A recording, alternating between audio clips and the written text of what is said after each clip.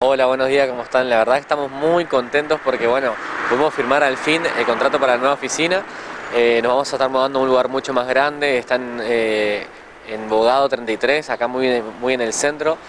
Y bueno, es una oficina más grande, más cómoda, un lugar donde van a entrar todos adentro, que es siempre lo que queremos, ¿no es cierto? Tratar de atender a todos. Tanto se peleó por esto. Claro, imagínense tantos años donde la gente estuvo afuera, con frío, con calor, con lluvia, y hoy, bueno, vamos a poder hacer que todo el mundo pueda entrar a una oficina mucho más linda y mucho más cómoda. Tanto para la gente como para los trabajadores también, porque también necesitan una parte de descanso, un área, una nueva oficina, un área de archivo.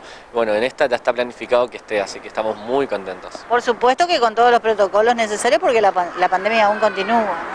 Claro, exactamente. Imagínate en esta oficina chiquita la gente que podía entrar y la, y la capacidad que va a tener la nueva con todos los protocolos. Bueno, muy bien. ¿Esto se daría a partir de cuándo? Miren, no tenemos una fecha porque eh, estamos tratando con un alquiler anterior que estaba vacío y ese nos esperó por mucho tiempo y después no pudimos concretar el alquiler y de verdad nos sentimos muy mal que nos haya esperado tanto tiempo y no se concretó. Entonces ahora decimos hacer una estrategia diferente, empezar por un local que sí estaba ocupado pero se vencía el contrato.